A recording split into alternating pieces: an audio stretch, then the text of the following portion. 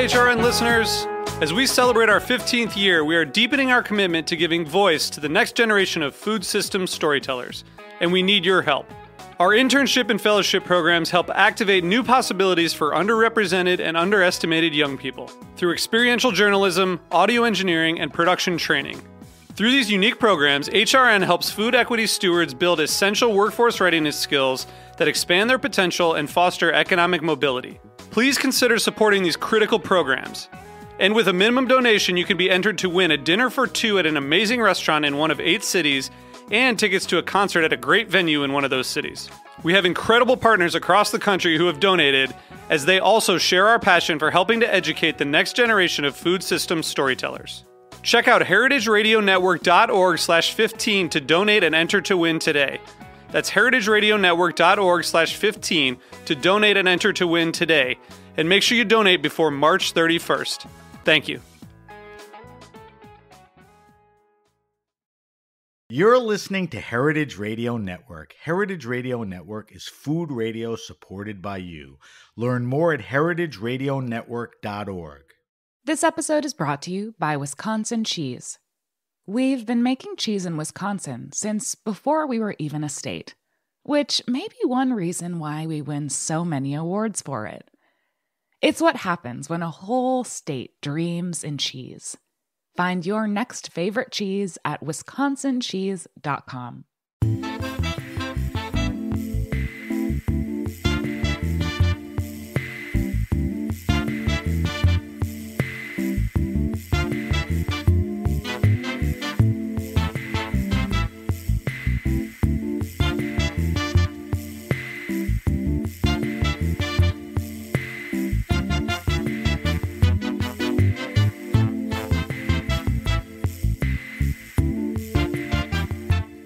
Welcome to the Grape Nation, your weekly wine journey. Our guest is Justin Pichetrungsi. Did I get that right? You got that right. It's a hard chet, right? Not shet. All right, we'll talk to Justin about Anajak. We'll talk Thai. We'll talk wine and more. Um, I asked Justin to pull a wine out to taste for the weekly wine sip. That's a favorite and something that's representative of the wine scene at this place. I'm your host, Sam Benrubi. Stay with us for the Grape Nation on the Heritage Radio Network. We bring wine to the people. Stacked, jacked, and whacked with every award, including a James Beard, Food and Wine's Best Chef, LA Times Best Restaurant of the Year, and a New York Times America's Best Restaurant. Justin is the second generation owner of Anajak Thai in California. More importantly, he's preserving the legacy of his family's 40 year old restaurant, along with transforming it. After 10 years at Disney as an art director and Imagineer, working on stuff like Star Wars, Marvel, and Pixar, he left to join his family restaurant when his father became ill in 2019. Justin's innovation and love of natural wine have made Anajak one of the great food and wine destinations in America. Welcome to the Grape Nation, Justin. Oh my goodness! I can't believe I got that. That's a, that's a nice intro, right? That's a very nice intro, and I've I have to say I've been listening to the Grape Nation.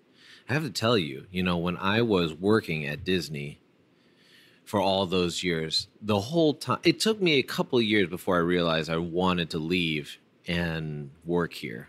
And but I just, you know, you just don't have the balls, right? You know, you you biggest make, change making, in your life. You're making big, you're making good money, the best money you've ever made out of school, uh, the golden handcuffs, and what uh, all I had was a couple of podcasts that keep me connected to the industry, but also to look outside of the restaurant to see what the hell was going on.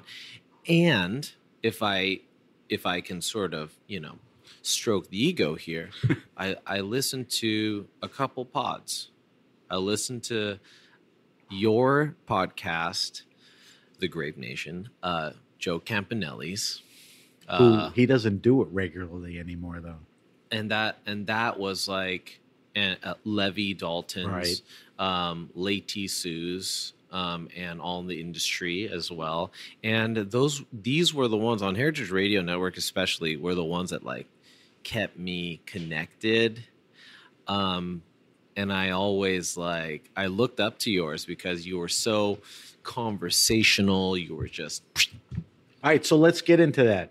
All right, so we're talking to Justin at his restaurant. I am in Sherman Oaks, California. beautiful, Sherman. Oaks. Beautiful Sherman Oaks on the uh, main swing, Ventura. I don't know where we are, but we're here. Um, so, Justin, I mentioned to you off air that really the story here is the story, and that's the story of Anajak. Um, so, what I want to start with is I want to start with a little family history about Anajak and your journey in life and wine that is so interwoven into Anajak. Um, so, where do we start? I give you the. I mean, were you a kid that sat in a corner table during the day doing your That- homework? it- It's a table, corner table that doesn't exist, which is right now where we keep a lot of our wines. That used to be table 12. I would do all my homework there. okay, so you were a a kid. restaurant kid. I was a restaurant kid. Spent more time here than I did at home. And my father started in '81, and um, and he cooked here for. I mean, we're, we've been around for a long time. He was doing that station as the chef and as the owner, as the buyer of all the things, as his own bookkeeper for like 38 years before I started. And with my mom in the front and him on the walks. And it was a small neighborhood, little Thai spot. Why Sherman Oaks? Actually, you know, Were you I, living I- I around never here, or- asked- no? no? no, we live we live in Reseda, which is like a couple miles away. It's not that bad. Um, but I think he was kind of already thinking of a kind of a blue ocean strategy. He was like, all the Thai restaurants are over there. There's no Thai restaurants over here, and he was one of the first, if not one of the first two in the valley. Um, and Were there a lot anyway, or not even a lot of Thai? I mean, no, were I really think there was only. I think there was only one or two others. Uh, we were the only one on the strip that. Uh, so it's probably us, Talay Sai, Lana Thai, and one other. Anybody still around? Some people are. Yeah. Talay I believe, is still around. Lana Thai closed after 38 years. Do you feel your dad had a hand in, you know, making Thai more approachable, available? Uh, other people in the Thai community thought, "Hey, he's doing it, we can," or it was just It's. I mean, I think it's a combination of he's a very good cook, and so the food spoke for. The yeah he's a very good cook and he's a he's the loveliest kindest man.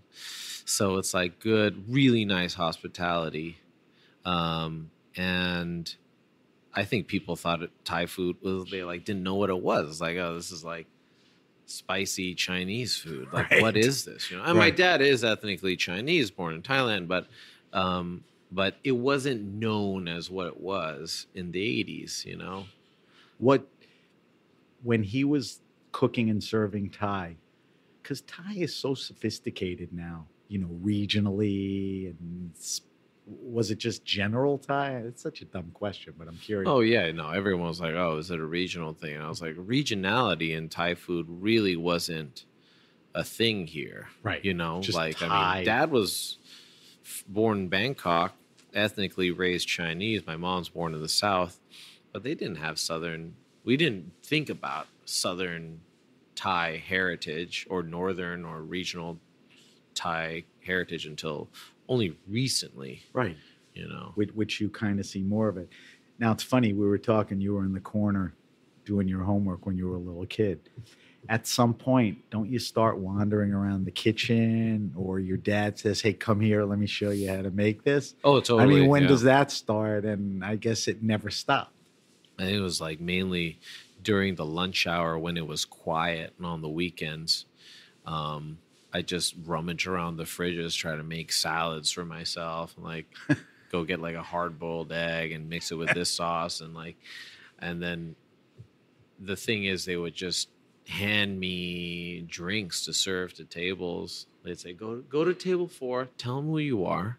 And uh, introduce What was yourself. the tell? Um, um, my dad owns this place, or um, I was like, it- it- it's exactly the question that I asked them. I was like, wait, what do you want me to say? And they're like, just be yourself. And I think that's why I was born in the front of house first. Um, and actually, that's a, a you know I, I- I say as like one foot in the front of house and one foot in the back of the house, but really, uh, you know, as a as a kid, they're all they're going to make you be a server before they're going to make you cook. right. Um, but it's good to have knowledge of everything. Um, there's a time where you're doing that, and there's a time where you get older into your teens, and I guess you know you finish high school, college, go to design school. What talk to me about that time when, hey, listen, you know, my dad's in here six, seven days a week working 12 hours. I'm out of here. I'm going to college because this is what I like. I'm good at it. And then you take a job. yeah. Was that smooth or did you have the support of your parents, which I would think you would? No, I didn't. My parents are very, I mean, I think they, as all immigrant parents, trying to end intergenerational pain. They're trying to end the immigrant story. That's Because good- the immigrant story was not a quote unquote marketing tool for them.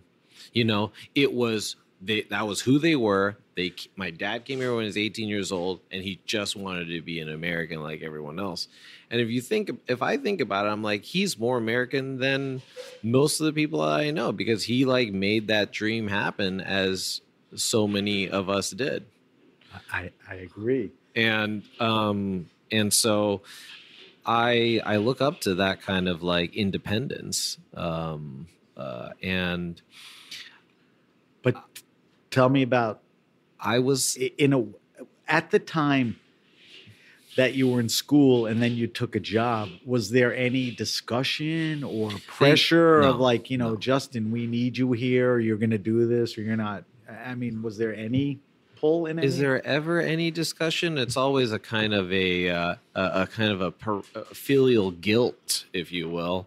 Um like hey True it's- that. yeah you know like hey Yeah. it's it's christmas eve you gotta come work you know? And i was that i i was working the holidays and the weekends and i was coming here at work after disney um pretty and it- regularly? Oh yeah like I you should- had I'd this legit job I'd and then you'd run out of there instead of meeting buddies at a bar you would come here and help with the Yeah. service No, it, it- and and so I was at first. It was kind of like, ah, shit, like I gotta go help mom and dad out, and without then any became- real resentment right i mean no, minor I think, it- I think it- you know when you're a kid, sure, you're just like, ah, I gotta do.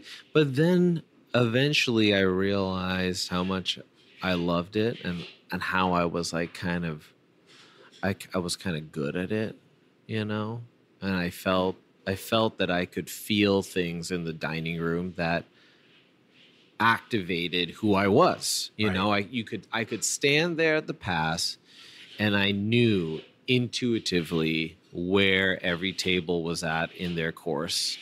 so you you had a hospitality mind and you didn't mind doing hospitality which is not an easy thing obviously if all those things were clicking right It it, it there's a kind of a sensitivity that you got to have in hospitality. You're kind of like a little bit more sensitive to people's feelings, and that's why you end up working in this field because you're like, is that restraint too like if a guy's kind of a dick yeah. you kind of got to understand he's the customer paying so you restrain back then they were very res- restraining um now we're a little bit like hey look guys this is who we are. Like music's loud. I'm sorry but i'm not sorry. Food's like this i'm sorry but i'm not sorry. Wine's like this and yeah i know it's like weird but here we are. So that that's an interesting point because there's a transition going on, and I'm sure there are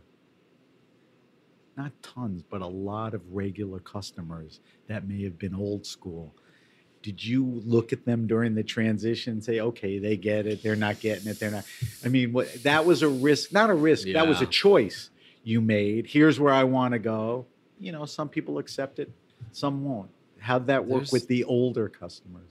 Not age, No, just there's there's a lot of people think that I don't like older customers because they complain about stuff. But here's the thing many of our older customers, they're coming in, they're having a blast, they're buying a lot of wine, they're dancing in the dining room, they're celebrating their birthdays here. And they were coming here when they were a little younger and like they're having a grand old time. I, I, and then some people they're like, yeah, we just can't figure out how to use Resy. Um, Right. and I'm like, I, I know, like I can, I should do a tutorial for Resy. How do you do it on a Um, flip phone, right? I'm like, yeah, yeah, yeah, yeah.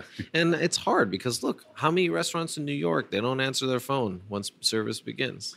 Listen, that whole model has changed with Resy, even Open Table, exclusivity. I mean, it's it's kind of a, a month in advance at a certain time. I mean, the reservation thing is, you know, kind Well, of. there's always going to be more people that want to dine in restaurants than there are restaurants that serve Yes. everyone yes. in general, regardless of if the place is good. All right, finish um, the last chapter of this part of the discussion, and that is you spend, and correct me if I'm wrong, a good 10 years at Disney. Yeah. And the way it sounds, you know, a nice ascension to jobs, responsibilities, titles, and all of that. Worked on some good stuff. Um, and you said you never untethered yourself from the restaurant. You were always involved with working whenever. All right. So that's a little of the background. Um, let's get to fairly current, which is really where the story takes some interesting turns. Um, fair to say 2019 was a year that changed your uh, life. Your dad fell ill, My dad had a stroke and he who was a rock, and then now he's down, right? Yeah. Yeah, yeah. And I, I I know exactly where I was and everything when it was all going down and I think he didn't even realize he was having a stroke when he had a stroke. He um, he was here and he was um, getting tired and he went home and like it's very strange for him to do that. So I had basically left work in order to come and see what was going on. Um, and it turns out that that was the beginning of the end of that chapter for him and him being forced into his retirement. Um, So take a minute there. He has a stroke. He's here his whole life. He goes down on that, goes home because he's and from that point on, did he come into work at all or try to, or the stroke was debilitating enough where yeah, he, I mean, he, it was harder for him to walk. He had to do a lot of therapy in order Right. to get back on his feet. Um, he's still in a wheelchair. But I mean, the discussion was going to, it was beginning then uh, in my mind. Like, was I going to leave?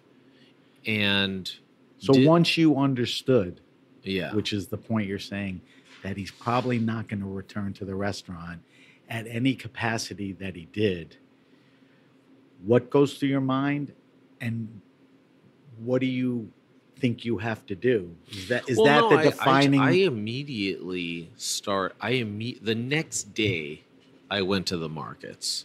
because who else would him. do it? The next day, I set up service. The next day, you know, we were. I was doing everything that Dad was doing. It and, and so it was, and my But Dis- silly question, was that a work day and you called in and said I got to take out, you know, my Yeah. Um, and and my Disney bosses were nice. They, they, I mean, they kept me on payroll for a little bit of time, and they kind of knew what was happening. They knew how much I love this place. We had done many, you know, outings stuff, here, Right, right.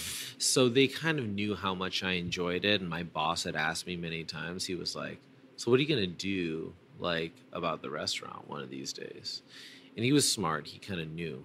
Um, so uh, my mom, she says to me, she's like, I, I know you don't want to think about it this way, but you, this happening is kind of like the universe giving you a little bit of an in to doing what you always said you wanted to do, which is come here and take over. And you've been saying that for a while, and you've been doing some great things. By that time, I was already buying a bunch of wine for the place. We're already growing the list. At that time, we're already changed. I was already making moves to the menu. I was cooking in the back, and I was like, you know what? like maybe maybe she's right. Maybe it's kind of like a kind of a cosmic. So your mom was an instigator in a good way, like She's an the- instigator in good and bad well, ways. Well, all mine, but cosmic opening. You know, like you- you, could do that was a good thing. Never talking about selling, right? Like maybe never Mm. in the cards. I mean, I think they threaten it to me. They're like, They well, did? if you're not gonna, if you're not gonna, you know, do this, then we Did- might as well. Did you think for a moment that this would be temporary? Like, I got to get to the market the next day, or the produce and the meat won't be there. I got to get this thing kind of leveled out and straight. Then I could decide what I want to do, or did you make your mind up? Uh, no, there was no strategy Okay. uh, at all, and I and I actually kind of like appreciate a no strategy approach sometimes. You know, I think we we gen- in general strategize ourselves too much, and with this place, I mean, the magic w- is in the improvisation that we do, and that happens throughout all aspects of how we run the restaurant. You just gotta kind of succumb to it. I think that's what makes it special.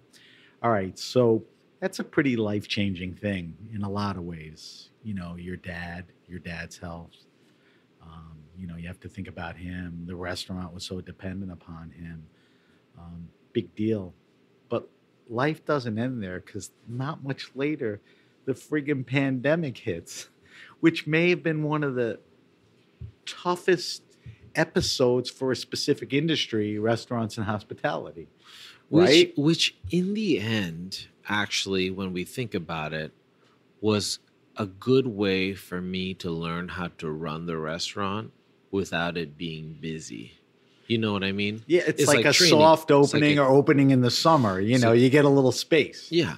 You get a little space, you get get a little time to talk shit with people, think about stuff. I mean, how many times you get to have a break like that? You- you- I I mean, hopefully never again, but no. Oh, yeah. I'm curious. At that point, which really wasn't much later than when your dad got sick and you jumped in, and you talked about it a little. In your mind, were you settled or had the beginning of the ideas of where you wanted to go or you were at where you wanted to be? Or the pandemic kind of really created a pause and okay, I've made the moves from my dad. The pandemic gave me a little space. Did a lot of the ideas come up during that pandemic time, or these things were floating around your head before, during? I, I think one thing that I realize is that when I, I realize that depression fuels your creativity and boredom fuels your creativity and if you have a time you're in a time in your life where you're feeling you know big swells of emotion. Um, you can channel those things into something kind of useful if you just kind of open yourself to them. And uh, I was going through a lot at that time, but the restaurant kind of needed a little healing period, and that's when we just started to say like, let's try little things, and and all these like little micro projects and ideas kind of birthed. Well, let, let's talk about some of those. Um, some you may explain are micro, some seem a little more macro. Um, you know, nobody was sitting inside during COVID.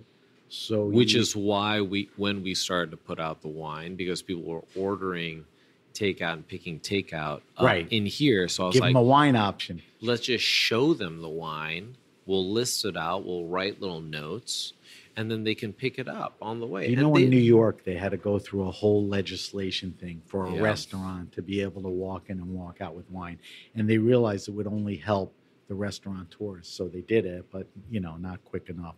Um, so Yeah. Taco Tuesday, that's more of a macro than a micro. You said, listen, Eh, it No? grew, it grew out of it grew out of me just wanting to do a family meal for these guys and the cooks um, just kind of using family meals as a creative outlet as it is for many restaurants right? um, and I was like, I'm a, I'm gonna do tacos, you know.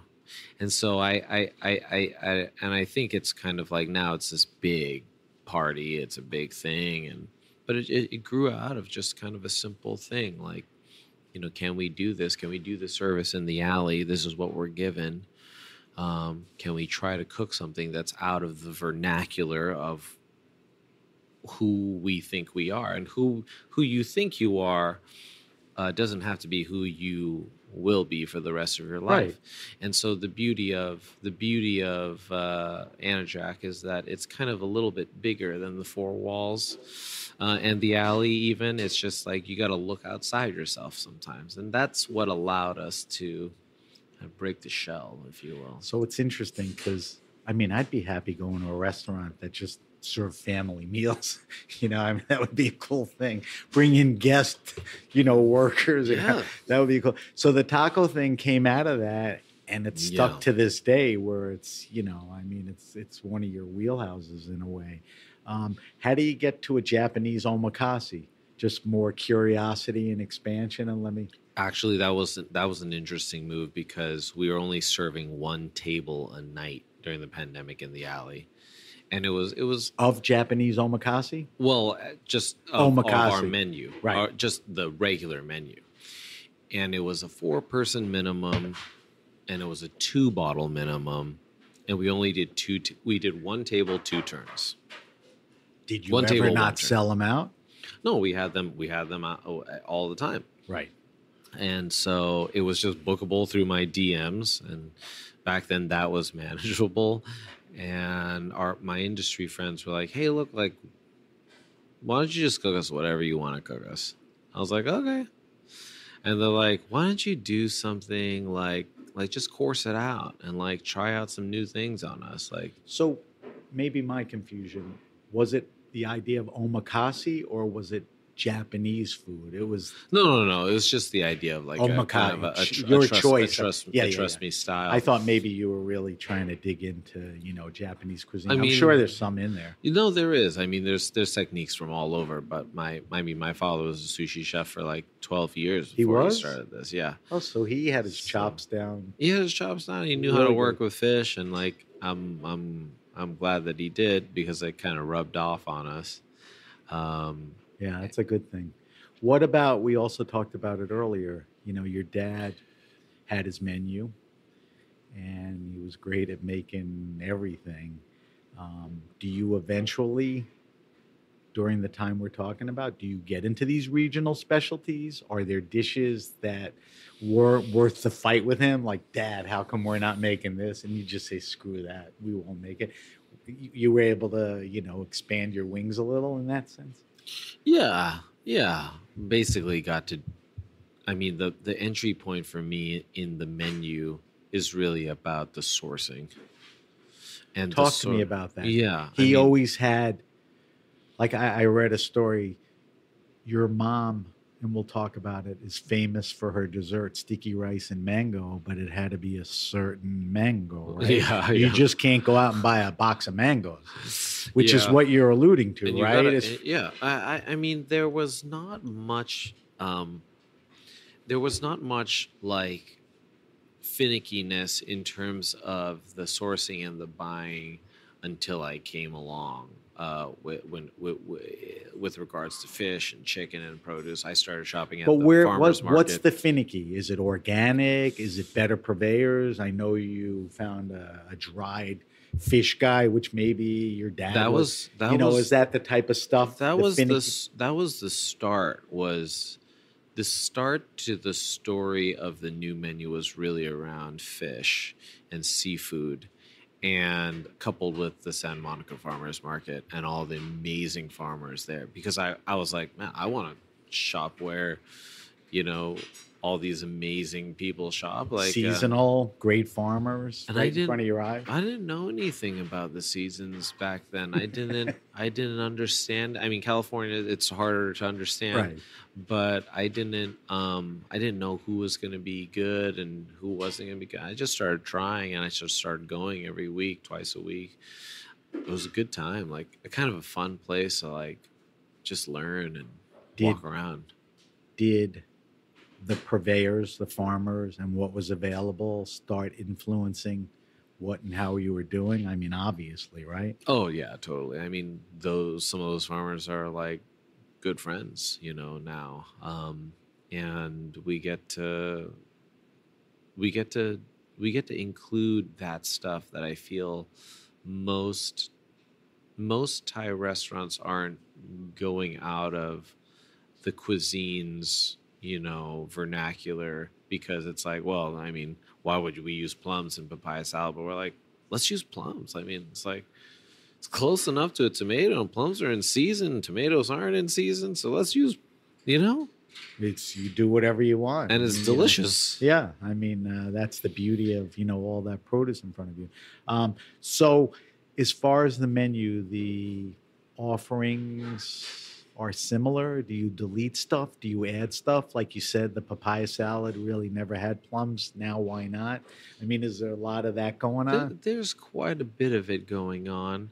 We see most of the menu changes happen in the uh, omakase, which is every month, the last weekend of every month, and it's four days. It's Thursday, Friday, Saturday, Sunday, and it's you know it's like somewhere between 19 to 20 plates of food and there's there's a time for us to kind of experiment we're publishing our r&d you know um, now it's starting to get a little bit more uh, rigid in its structure but before it was that- super loose we were Is that not where you want to get to, or that's okay to? no that's to it? okay. Okay. that's okay because before it was just me and chef ian over there cooking outside for six people but Right. now we do it for the whole dining room and all the cooks get to learn all the psalms and the not hard to pull off to bring it to everyone inside and all that. You know, is it harder than a normal service? yeah It is yeah it's harder than normal just because of more coursing and smaller and a lot more ingredients. we get to be a little bit a little bit uh, uh, more precise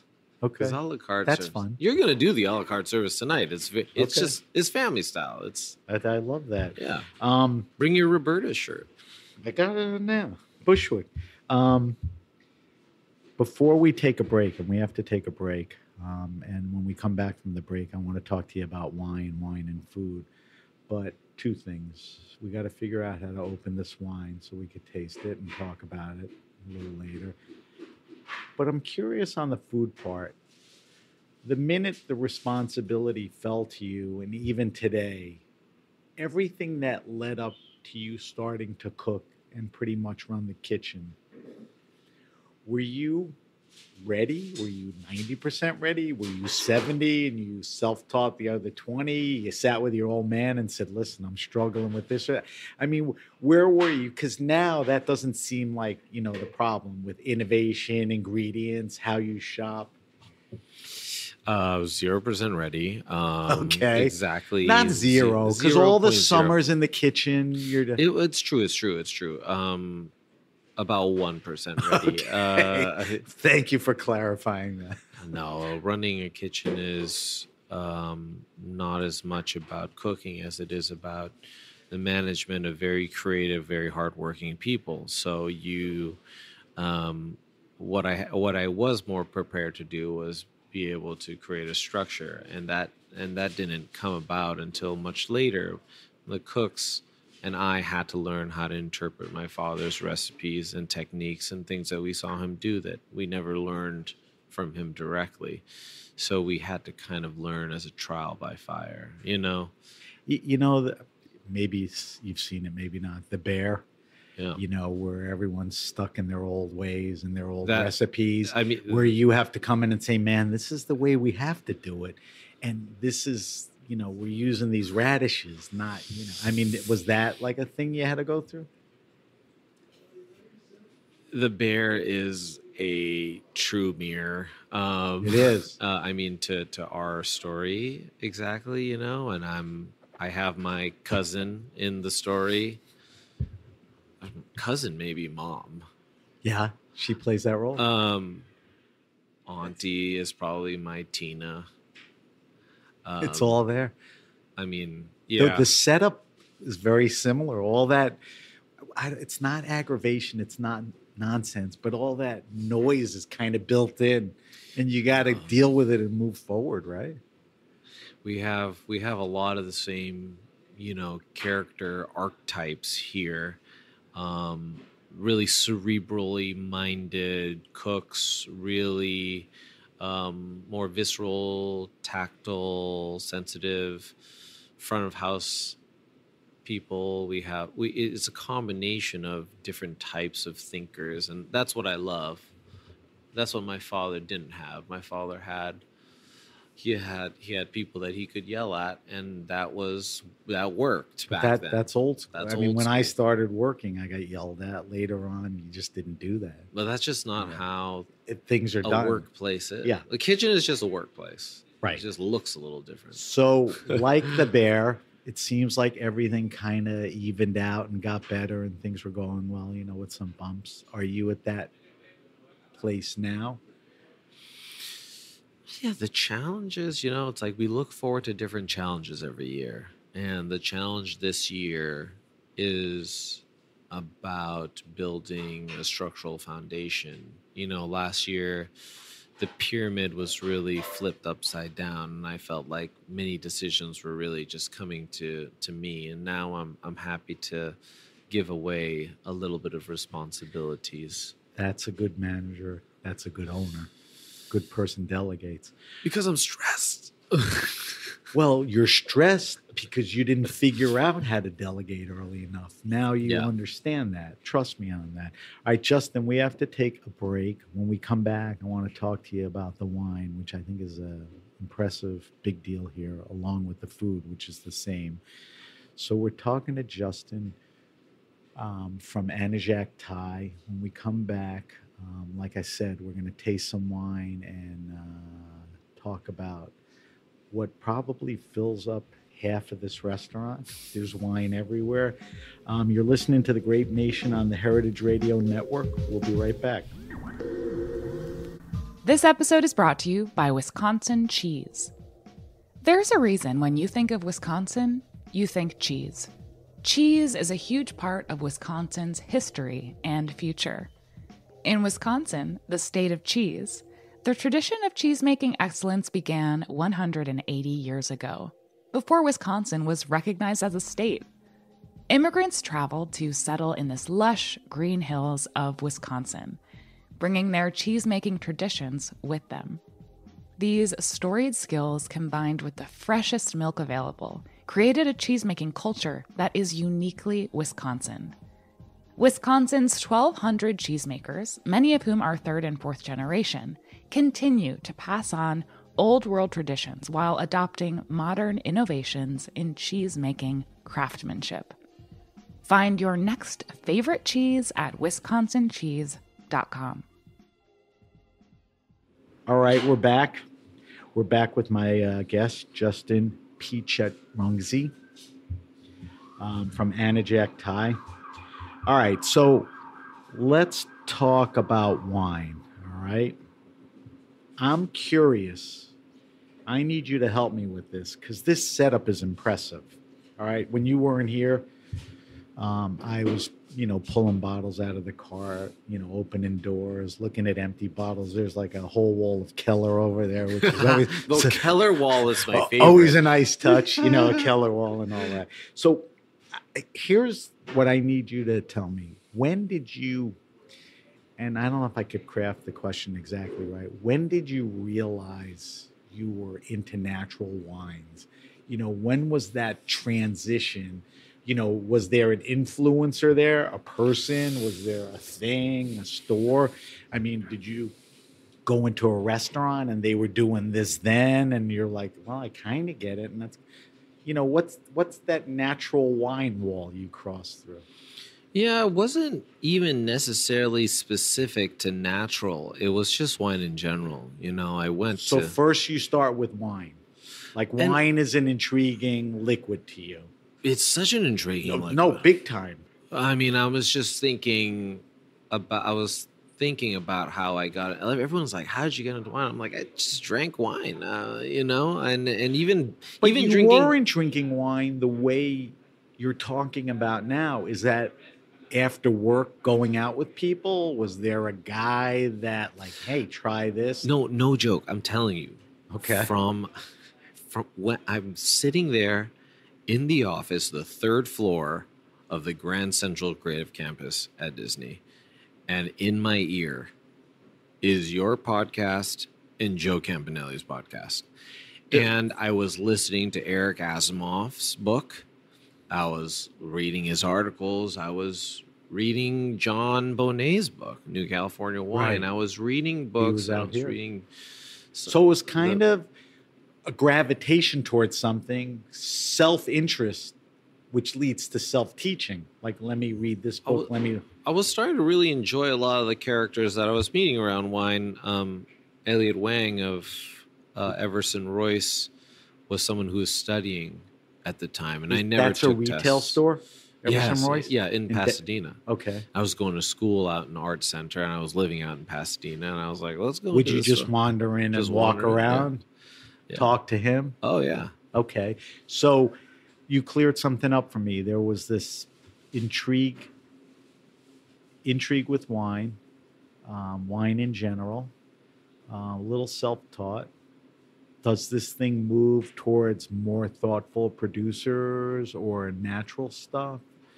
Is I that think I think it was I think it was in in you know uh, I mean that's what you were starting to see because it's hard I not mean, to ask these questions when you look at you know what But the vibe ev- is here, and we'll talk about. It. I, I want to talk. It's about not a it's not I I mean our list is not a dogmatically natural we're, list. we're right? going to talk We're about going to talk about. all right um so was there a point at wine with wine that i'll never know what the hell's going on it's so detailed or not me you or that listen i'm learning little by little. I'm interested. I'll stay patient with it. You know let me keep tasting and reading. Was that what it was or wasn't that thought? I, I know. I wanted to I mean I was in school for so long I wanted to like learn something about the restaurant that I could contribute to. And the wine world provided a lot of things. It provided the ability I was like looking at you know you're looking at these bibles that you'll you you felt like the knowledge was just so expansive you it, it, nothing seemed you could never finish the knowledge you know i mean I think like a, a, a sommelier, master sommelier is like as hard as a like de- you know dental school or something. It it's is. crazy It- the depth of knowledge. the depth of knowledge is so deep um, and i wanted my parents had kendall jackson well, let's you you, the- you had like the- four wines on the list. yeah Your, that if was your even- dad. Wine was such a tertiary thing, right? So you had four wines. So white zinfandel was on the list I love that. Um, chilled. six bucks chilled with ice. Um, all right, so no real, you know, Peter Luger in New York, you know, considered the greatest steakhouse, has no wine on their list. It's crazy what they don't have. You know, here it's crazy how good the food was, and Kendall Jackson was a recognizable name. When does the movement towards thoughtful wine start coming in here? Is that before your dad gets sick? Is that after? It was Is the before. pandemic? it was before i was You were you I were saying to your dad, we need to up the wine game.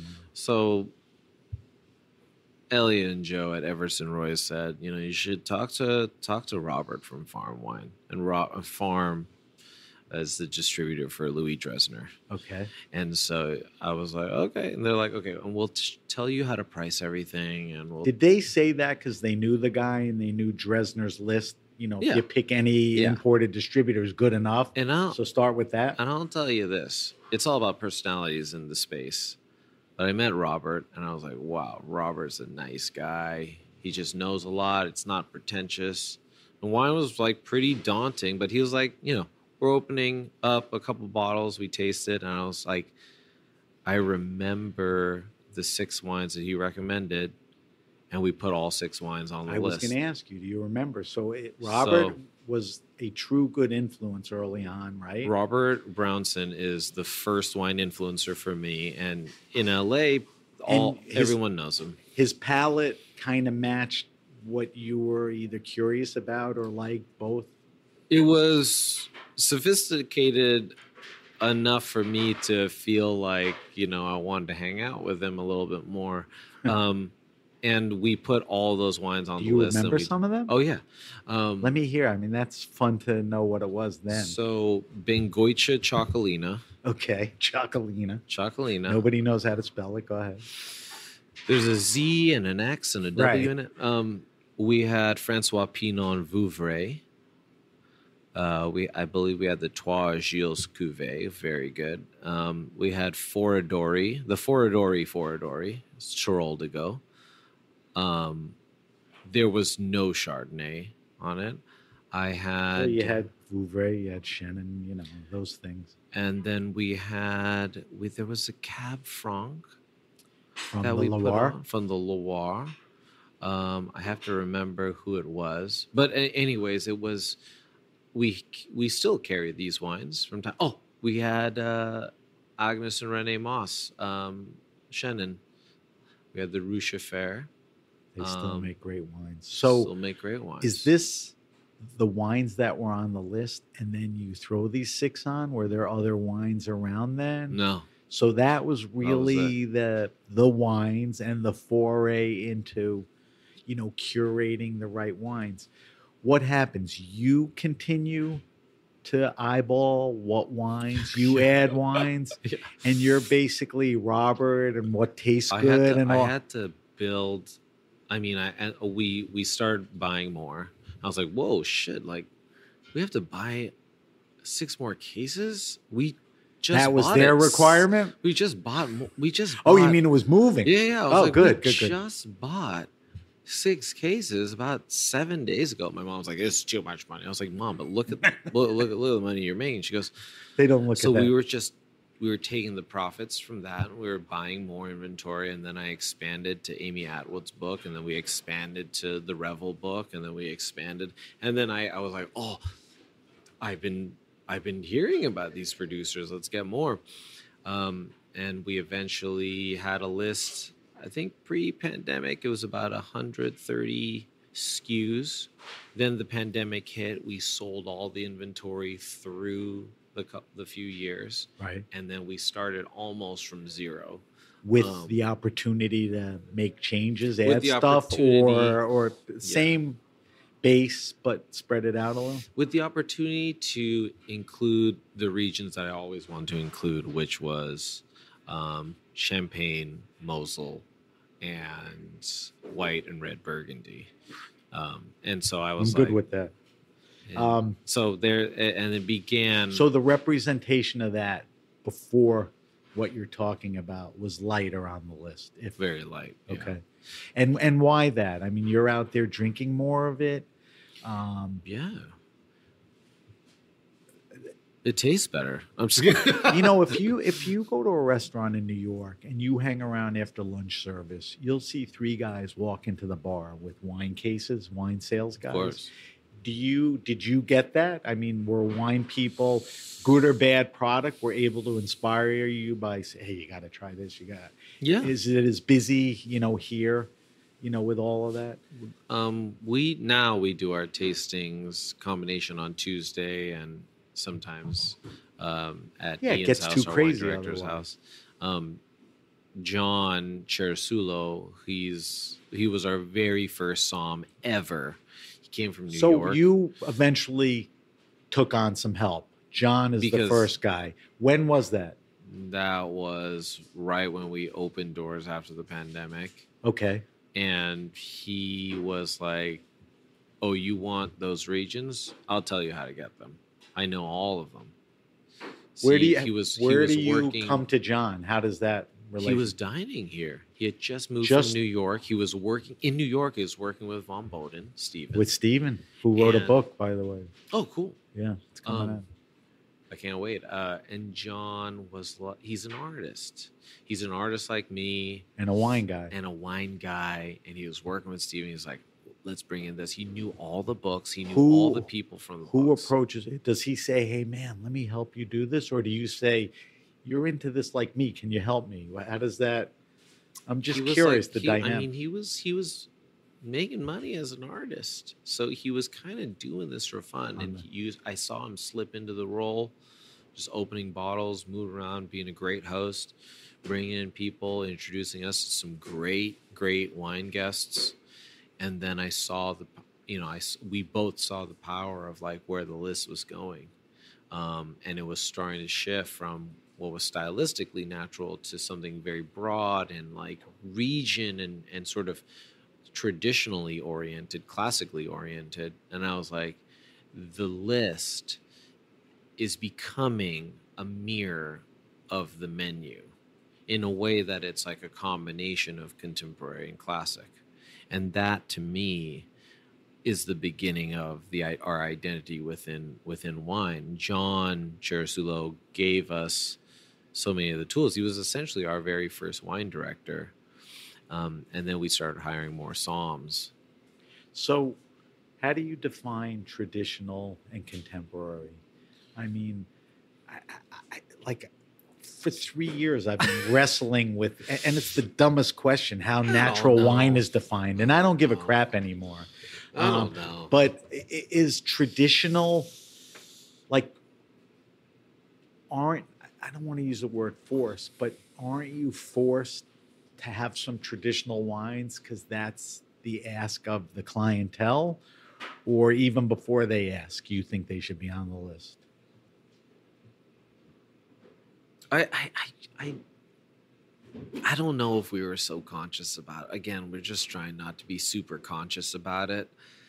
And we, I think we're just chasing what we felt was going well in this. It's not only with the food. Was that only- more inward than outward? Like this way- is this is what we feel It's- is good yeah. with the, this Yeah. is what we like. Yeah, because You know, we yeah, because because we're noticing certain things just poured better in the space.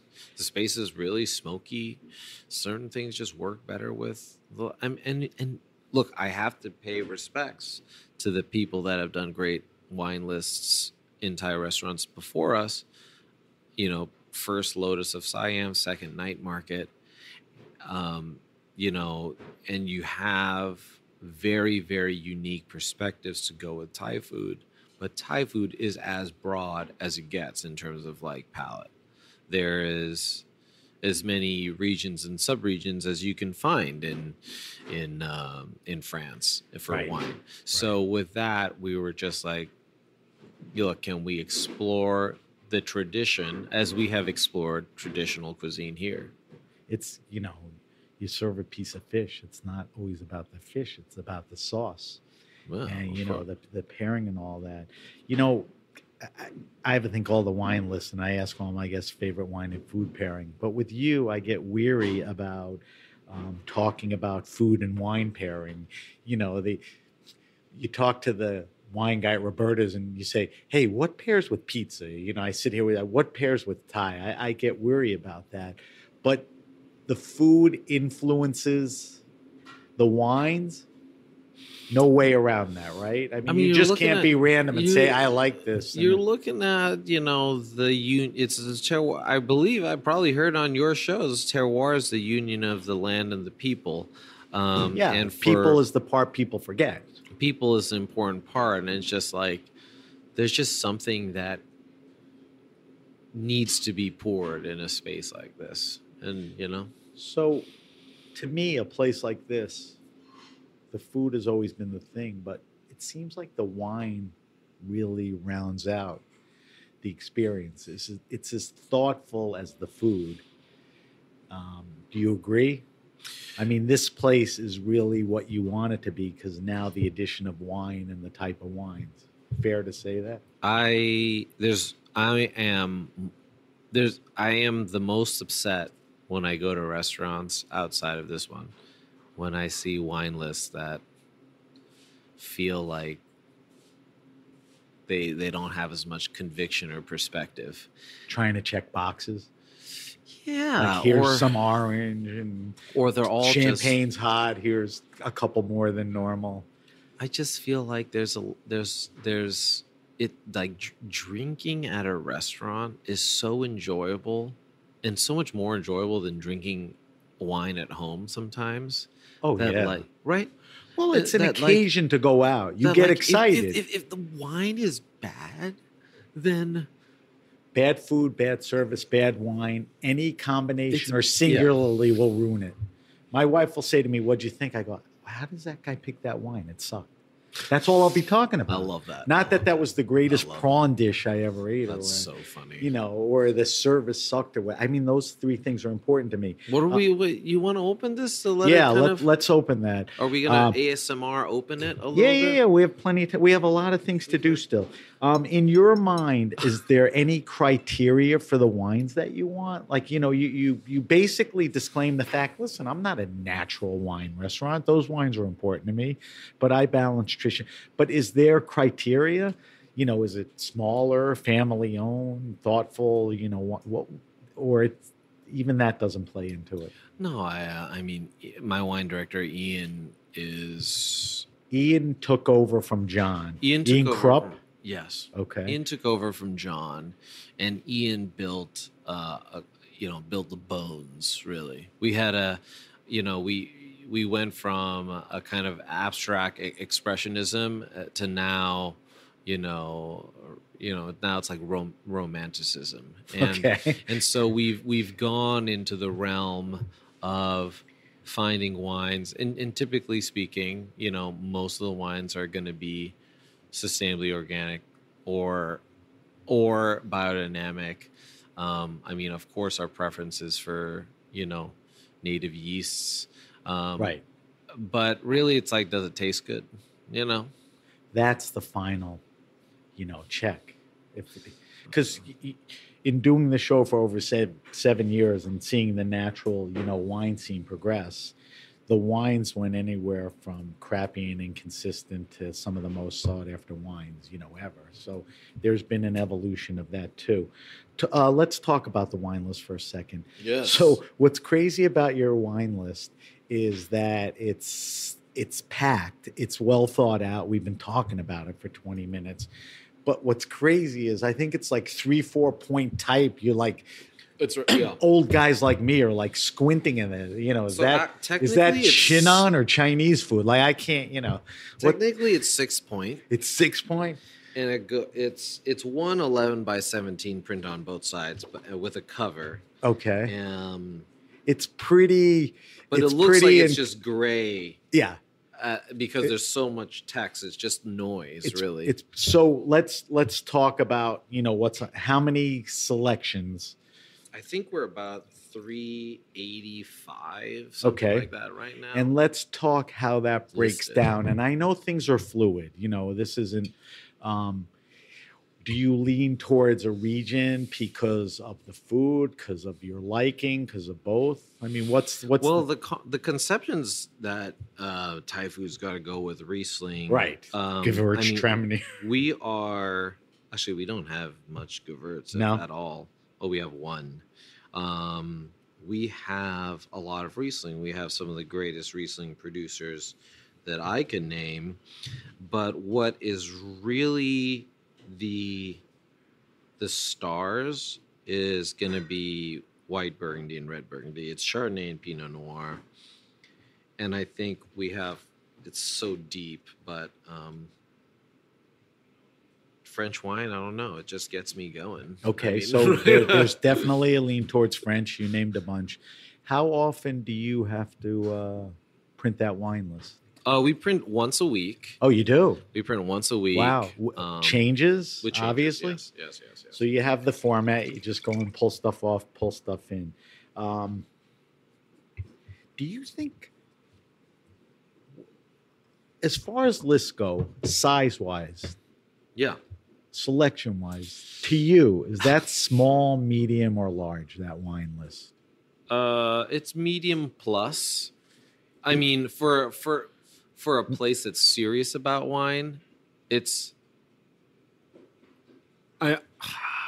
I mean, for most restaurants, I think this is- medium, medium plus. for I, I think it's large Los- for this place. for most restaurants. you know, for Thai and you know how many tables do you have here? You know, so I think it's a big deal. Do you think it's harder to curate a smaller list like that, or if you're in some big fancy restaurant, you could just buy shit to put on the list? Yeah. You know, which I don't think you have the space, the time, probably have the money, but don't need to spend it on that. One thing that I don't know if people talk about enough is that like the art. There's an art to buying wine for a restaurant. There's a kind of a, a process uh, and a relationships and politics and and there's um, and there's a kind of um, there's an art to it. And the the guys on the team they they kind of they know that you know there's things that we want there's things that you got to wait for Well, I want to ask you about that because some of the wines you talked about, like Burgundy and all of that, some of the um, recently became or have been culty natural wines are virtually inaccessible. And if you can get them, the prices are crazy, whether it's in a restaurant or retail. Doesn't that drive you crazy a little? I mean, you haven't been doing, you know, I, I've talked to guys that have been doing this 20 years, and 20 years ago they were buying Burgundy. You know, does that drive you crazy? Or the good news is you found the producers that you like that are either younger, newer, maybe aligote instead of, you know, how do you morph to get to, you know, the good list? i mean we've we've hosted a lot of winemakers here um You should. and there's like when i meet them they're all such real such nice lovely generous people like Chanterêves, those two are, uh, you, you know, I mean, that's if you can't fall in love with wine through them, i don't know what and you're dead inside yeah, then the right the category is you know move on to Legos, right? yeah move on to like gin and tonics Yeah, um, which I love. But I, I, I think that it's crucial for the list to have multiple price points. I think our list is singing really well in between 100 150 dollars that's I the that sweet that's- spot for really for good, really good quality, quality, value. it's quality value that's like not hypey hypey prices Right. Can you get everything you want? Forget about the stuff you and I would love to get. The stuff that you need. Is it harder to get the stuff that you need, or you're still cool? You could either replace it with something else, or you get it. I mean, you Uh, they- probably they- have some sway they- now. you're going through wine, and you're the guy to some extent. uh, Ian asks me all the time. He's like, "the It's gonna be this price. Like, what do you like? Should we buy? It's a lot." And I'm like, "Do you want it? And does it? And and does it mean something on the list?" And he's like, "Nah, we can wait." Or yes. And if like the answer is like it means something on the list for us, and like it can do good for us, and That's we can, the criteria. yeah. So you don't hit a wall like, oh my God, nobody's buying wine over 200 bucks because it's over 200. If it's what you just said, yeah. people say, well, I trust this on the list. Let me try it. Look, I mean, we got like a couple bottles of Selosse, and that's more than anyone can ever ask for. But, it's a lot of money. you're money. gonna get a guy who may want it. It's nice to have it. We may get one guy tonight. Yeah, it could be me. My kids won't appreciate it. Um, all right, so that's your identity here is as much a restaurant as it is a wine restaurant. Yeah. Um, I don't know if that was in your plans initially. Maybe that kind of gelled a little as you were going along. I mean, are you good with that? You know, you're not a wine bar. You're not a restaurant. You're a wine restaurant. it's a cool category. I think it's great. You know, I don't think it's that easy. Um, all right, last thing is a personal thing. We talked about your dad. We talked about the pandemic. We didn't talk about you a little. Um, how much has your life changed emotionally, socially? You know, in the last three, four years, are you still entrenched in this? Have you been able to, you know, do other stuff? Do you relish in some of the recognition that's well deserved? I mean, I- guess what I'm fishing for is this is great. You know, I'm at another level. Um, or you're telling me I'm in the kitchen like your dad. 12, you, you know, where are you at with all of this? Right now, I mean, you can ask these guys. Uh, I'm not on the line. Last year I was. And this year I, I sort of told myself, like, in order for me to grow the business, we're going to have to, I'm going to have to hop off the line. And the guys. Always like that's you're an offline guy, or you're Because- on to keep sharp two nights a week, or not even that. Um, no, there's always there's always something to cut or peel. Okay. but but I mean, I'm I'm I guess I'm more of a director here now, and that's sort of what I've always wanted because like I you know, we I work with pre-shifting the front and post-shifting the front and Right. like talking to the guys in the back and training some of the guys. But now I think the role is really to train managers because managers are the most important. They're the lifeblood of So two things that implies to me that frees you up in some way, you know, mentally and physically. True. Does Yeah. that give you time to do things that you wanted to, or even just to chill? I You mean- want to know if I like go to Disneyland No, and stuff? No, I just want to know if you can get to the things as trivial trivial as they are that you can get to them. yeah, you know, I I love I life is kind of short and like I um I enjoy I enjoy being here. I enjoy, you know, seeing how service is running. I enjoy seeing my mom Still. in the back like cutting mangoes like um That's a nice thing. but it is you know i look i look towards making this place like a really responsible sus- sustainably you know long lived business and it means like there's a lot of things that have to be replaced and knobs that have to be changed and handles that need to be refurbished and That's an th- ongoing it's, thing. It's ongoing because you're with a restaurant. You're you're constantly fighting decay, uh, uh, uh, physical decay, mental decay, creative decay, right? and you're All of that. hoping that you heal, you heal faster than you bleed out. Um, so I, I don't think we can uh, let our foot off the gas. You Right. know. um, and now you're sort of situated in a different and what sounds like a better way to you know do all of that um, It's always about survival, but it's I, it's a sad thing to say it that way but that's sort of the way the It's okay. restaurant business is you know it's you know i mean i, I ran sales departments and sales and marketing and you know, it was making. I, we didn't look at it as survival. You know, we looked at it as like making the budget, or it was just a different mind. You know, but we didn't deal with perishables and personnel and you know low margins and all that crap. So, all right, right. we're gonna do two more things, and then I'm gonna let you go. We're gonna do the wine list. We're gonna ask you the five questions we've asked 275 people that preceded you. Ooh. And then we're going to do the weekly wine sip. We're going to talk about this wine in a little detail. Because, like I said, I wanted you to pull a bottle out that really reflects, you know, what's going on here. All right. So, the wine list five questions. Like I said, save five questions we've asked everybody. I'm curious, when you were listening to the podcast in the old days, did you ever listen to the wine list and say, oh, this guy said this is a good wine. I got to try it or whatever. Do you remember any of that? I'm sure there were. I have to. I. All right, I let's see what you said. All right. okay, let's hear it. Let's so hear it. here's the first question What are you drinking now? What's in your fridge at home? What are you trying? There's not much seasons here, so you're not changing seasonality. Is there stuff you're tasting new for the restaurant? What's the now answer? The not now- what you drink on a regular. What's going on now? wine wise or not wine wise? wine, just wine. Or, you know, if if you said, I'm sick of wine, I'm drinking beer, whatever, you know. Um, uh, for for me, uh, You have a mini obsession right now, or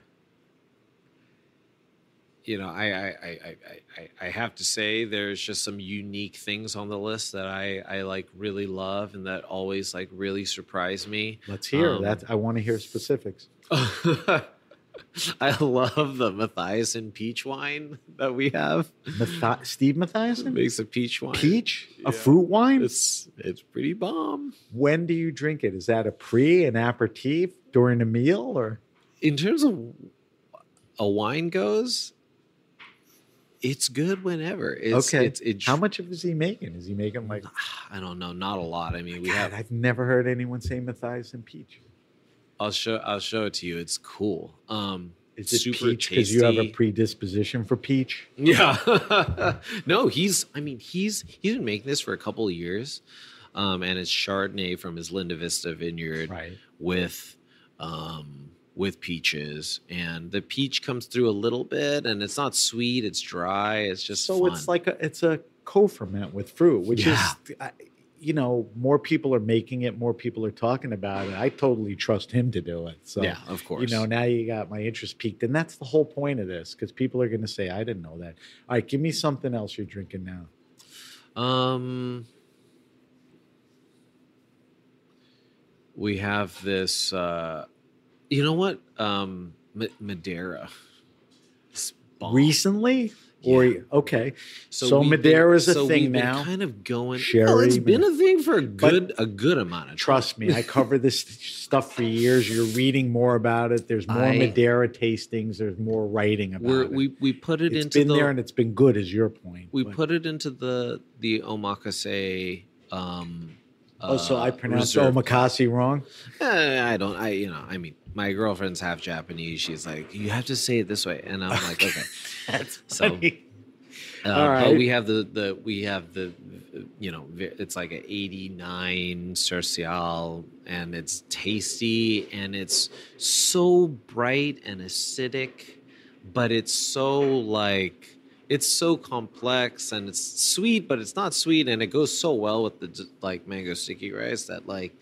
I I'm- think it brings mango sticky rice to a new height. Right, you found the perfect pairing. Yeah. What um I don't know the answer. This is why I'm asking.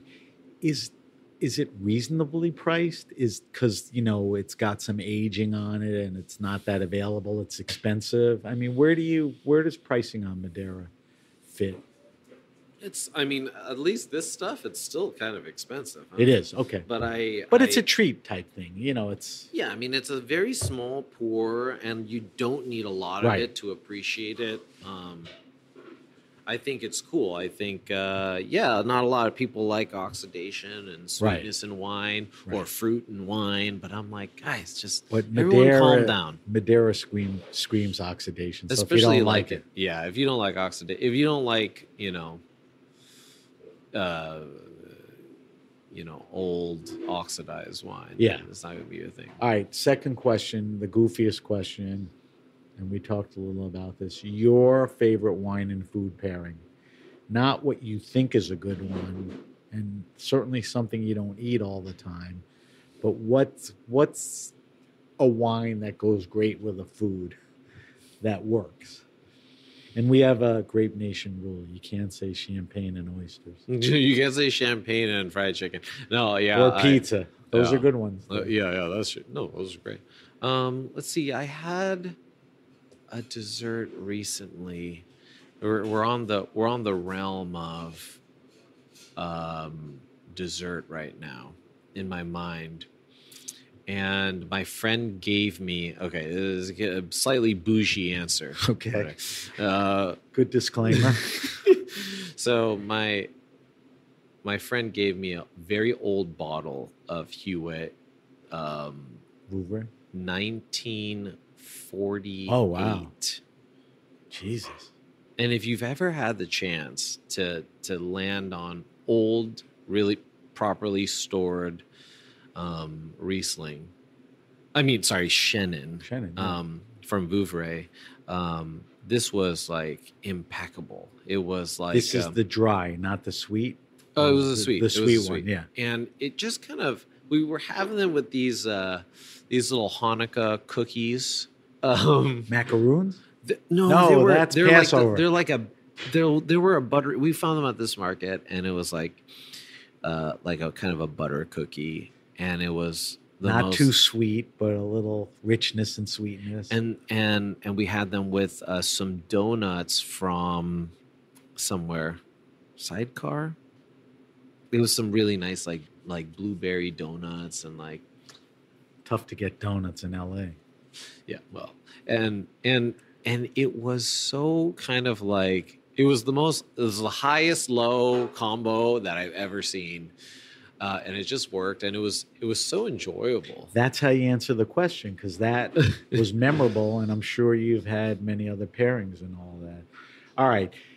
This question, and you're the type of guy that works your ass off, but I don't think you like to stay around. You know, you like to get out.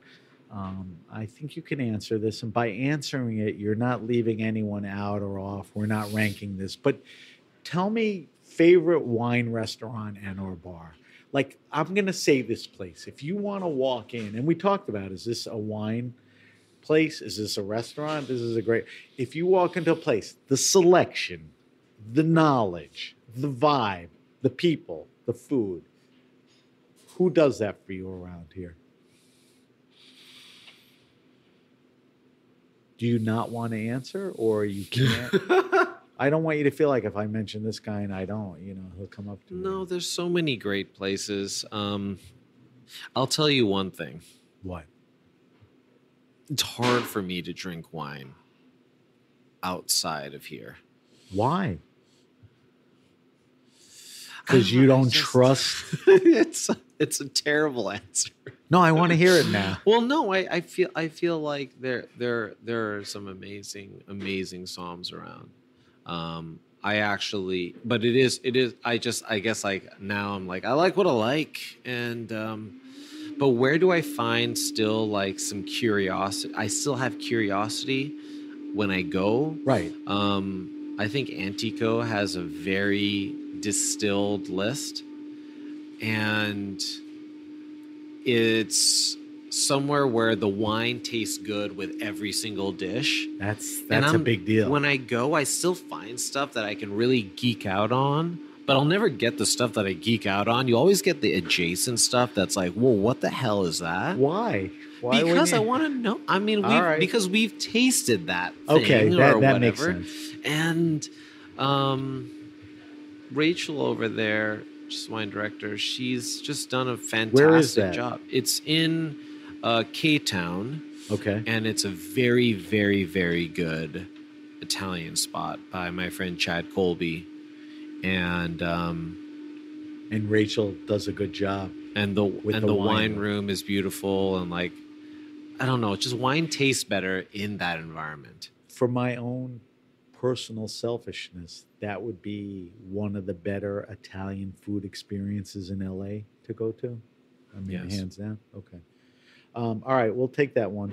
Fourth question favorite all time wine. The original question six, seven years ago was talking to guests and asking them, What's the rarest, most expensive wine you ever had? Like Aldo Sohm from Le Bernardin.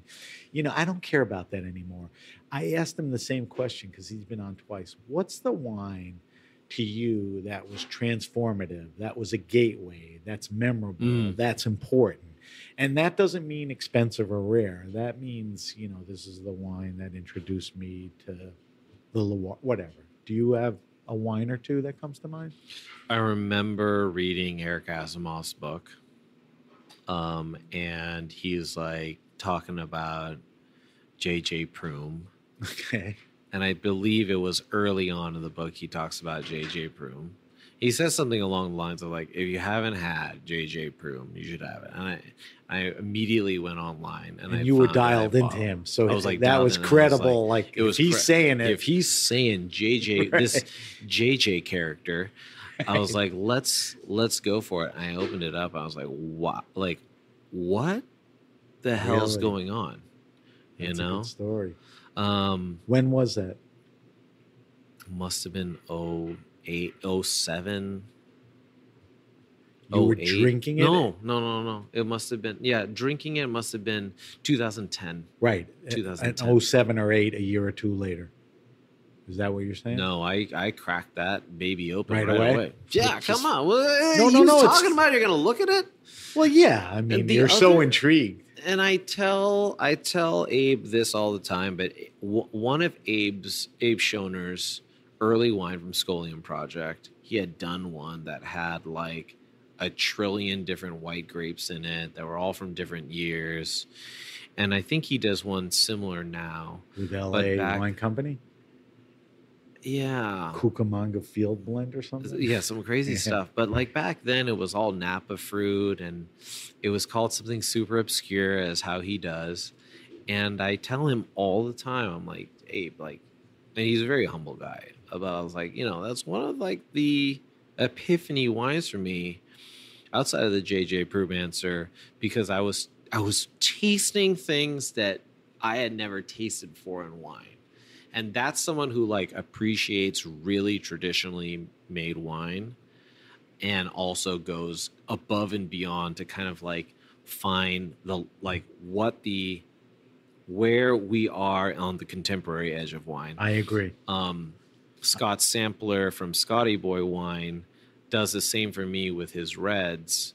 His reds are, especially the ones that he like, he's been fermenting for like two years, are some of the most insane. If you get a vintage um, Scott Sampler wine, they are so complex um, and they are they are the they're at the cutting edge right now It's- you're the second person this week that brought him up, and like months previous, nobody, you know, which Oh, is he's, he's awesome it's nice to hear.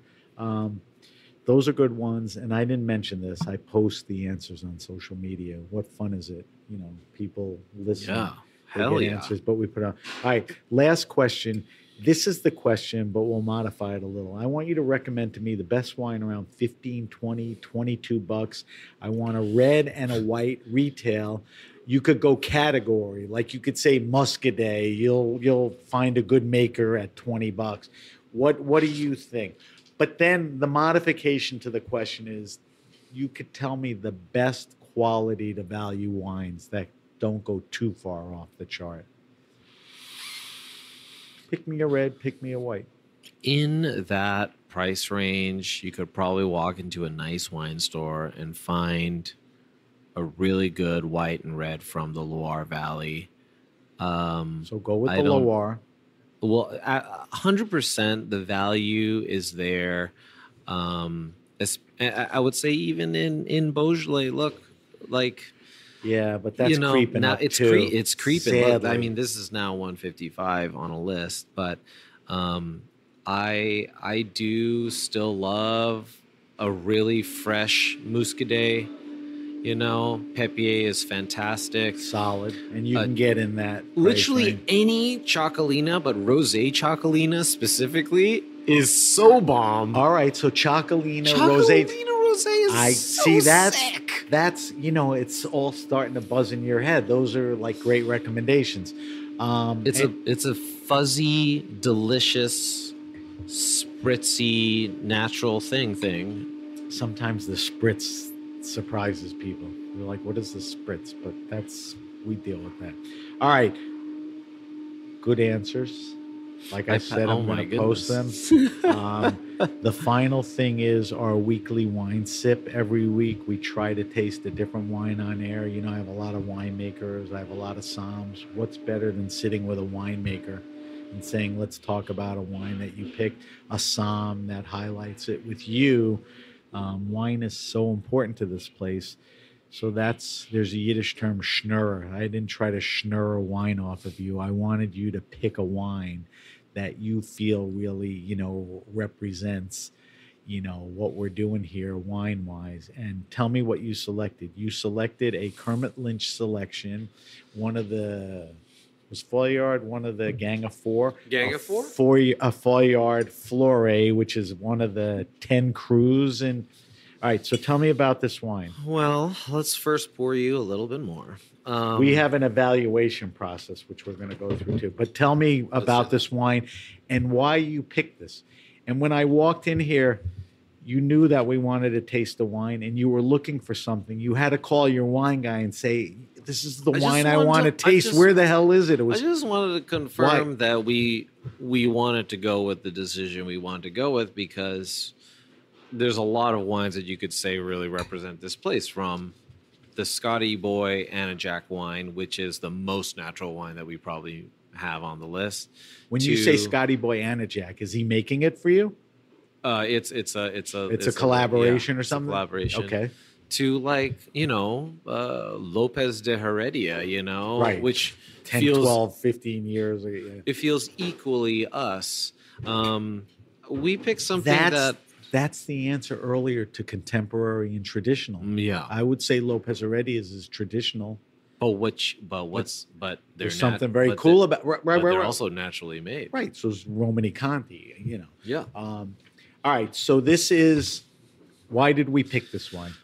Well, um, in terms of the traditional aspect, the classical aspect, I mean, uh, Gang of Four. Um, one of the things that we look at is power, power without weight, and Gamay gives me that. There's uh, Agree. there's such a lightness on the tongue. There's no the body is seemingly invisible. It's uh, you know it's silk chiffon, but uh, Ian says this all the time. He he's like it's it's an iron fist with a velvet glove, right? And um, and I think it is kind of velvety. Do you feel? I think that's a great description. Do you feel that's more with Fleurie than Morgon, which may have a little more body, or Yeah. In general? Like this Oh, to- checks the specific boxes you talked about, right? I would say the small variations are are are notable for some. Some people like a little bit of grip and Right. broadness, but I I want to sit with a wine for a while. I want to drink a bottle, and I want to get another bottle. So I want to maybe move on, move I- on to agree. Pierre's more going out. So let's do a quick evaluation on Yes. the col- on the color for uh, a Fleurie. It's it's you know it's a nice rich purple. It's not deep dark brooding, but you know the And- color's pretty deep, right? and it's like pink around the edge, Yeah. which is key. Yeah, it's really nice in that sense. All right. I suck at this, but I mean, I know what I'm smelling. I just have a problem describing it. What do you get on the nose with this wine? Stick your schnoz in there and tell me what you get. The schnoz is in. I think there's such a um, one of the things about you know Beaujolais in general is it's it's it's a balance between fruit and minerality, Yes. right? So this is very much on the fruit forward side. You almost Which think fruits, it's though? which fruit? Red know. fruits? It's, it's definitely It's a- not black fruits. it's like it's cranberry vibes. yeah, but but it's subtle. It's not Yeah. cranberry jump in your face. It's not raspberries. It's a red fruit line that's subtle. Um, I agree with that. And yes, there's that great minerality. Now, mouthfeel, you know, Gamay has can run the range. This is like a medium, Me- right? Yeah, medium minus. Um, Yeah, medium. There's a little right. bit of there's a little bit of uh, there's a little bit of tannin in there, and the structure is like it's so strong in this wine. I think structure may be the answer to your like what's the criteria for selecting wines here, and it's like structure is so you know subjective, I but think structure is important. oh my Um, god, this is so good. It is really. This good. is so All right, good. so let's let's let's throw it over the tongue now. Throw it over the tongue. and let's see if the palate replicates the nose or if there's anything else in there that we admire. well, one of the things that you we're two jamokes sitting on a Sunday in a closed restaurant drinking wine. drinking wine where the blender is going at full blast. Now right it is. So sorry. Hey, what's that noise in the background? All right, so Um, um, palate. One of the things I didn't mention is that there is a blast of reductiveness at the beginning, which I feel is really like a, a marker of that kind of. Mild but interesting, but there. Yeah, it's yeah, and it, it's going it's going away. There is there's a little bit of The nose has even changed when Mhm. when you corked the bottle and then took it off and poured it. It took five minutes for that nose to blow to off. come yeah to You yeah. know, now it's Should've- kind of pure. No, no, no. That's interesting to do it. in. Um, it's actually there's like a hint of savory. There's Very savory. there's a hint of savory. Maybe I'm not eating with anything, but like I love this kind of like bright fruit with with It's not that. overly bright though. It's good bright. It's good bright. Yeah, it's not. I mean, you bright. and I could rip open bright wines that show Yeah. well as bright. This is all well integrated as far as the descriptors. Not too bright, savory, It's like a minerality. there's a baby amount of like tobacco, like a baby amount of cocoa nib, and there's slightly something kind of green in the background. I don't get that, but I- I, think if I stay with it, because I like that element. To me, it's interesting, like green, if it's done well. It's it's pine like in a certain way. Um, I think it goes great, by the way, with Let's Curry. Let's, let's go pairings. Curry. curry. Curry. So straight up curry. Um, you have a bunch of curry dishes, right? a few. Okay. A few. Um, if you get out of the curry realm, anything else you think it would go? well? Honestly, grilled fish, grilled cabbage. Mm, you have that here. Yeah, yeah, yeah. yeah. Why does it work? Because cabbage, Cabbage is reductive. right? That's one small thing. The grilling gives it a little char a with the little char, reduction. a little sweetness. this kind of covers it nicely. our cabbage is kind of like it's got notes of like French toast because we base it with a little coconut milk, so it's got a little bit of Ooh. like, and so oh, My we'll- wife lo- What? loves cabbage, so we'll, we'll be, We'll be get. doing. I'll get you a little right, cabbage so too. we got to wrap up. We've been here an hour and a half. You're wasting my time. now. There was a time where this was fun and interesting for me. Now you're wasting my Oh, time. jeez. No, no, no, no. You kidding me? I could sit there another hour, but you can't. All right. So we don't like this wine. We love this wine. I mean, this is this 100%. represents everything we love about drinking wine. I agree with you. Yeah, You know, I mean, um, 21 Foillard, Fleurie, just the straight up Fleurie. Um, and it's it's naturally made. is biodynamic. yeah, yeah. Well, it's if you it's know, native yeast, eh, but it's super elegant when you drink it. It's it is an elegant wine. It, I mean, is. it- I- this I, is a- love is- Gamay for that all those elements. yeah. I just think you know it's just I have more Beaujolais and Gamay than I've ever had, and I've been buying it. And now I'm like ripping open like 15, Cool. 11. Yeah, it's like when I bought them, like I'll drink these in a year.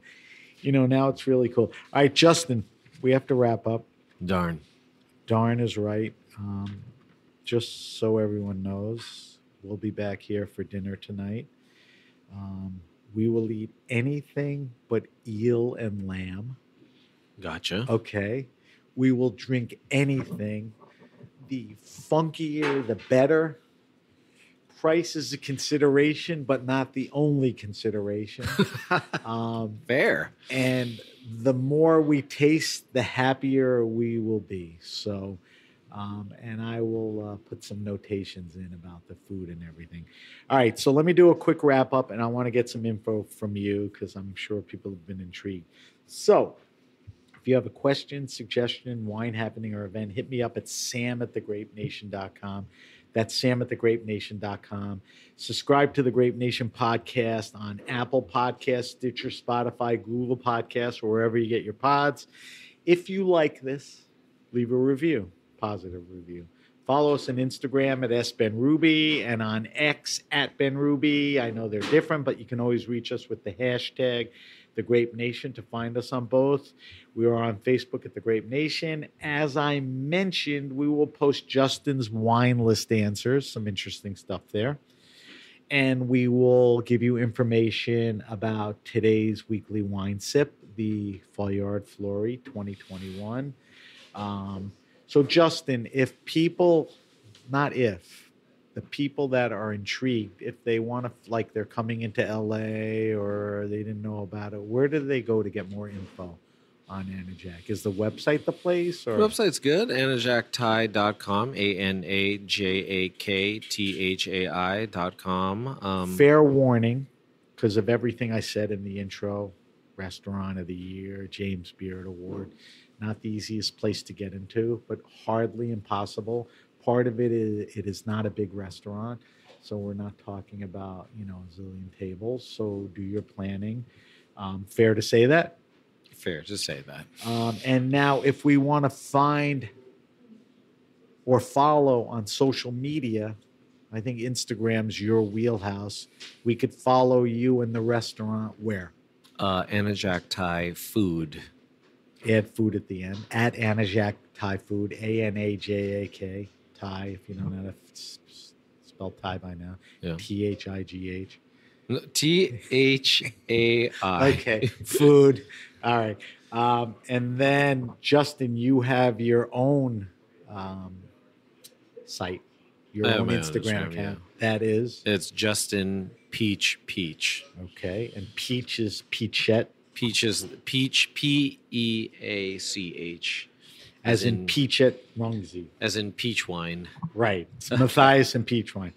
All right. Thank you to our guest, Justin Pichetrungsi, Peach Peach. Thank you to our engineer, Armin, and everyone at the Heritage Radio Network. I'm Sam Benrubi, and you have been listening to The Grape Nation. The Grape Nation is powered by Simplecast.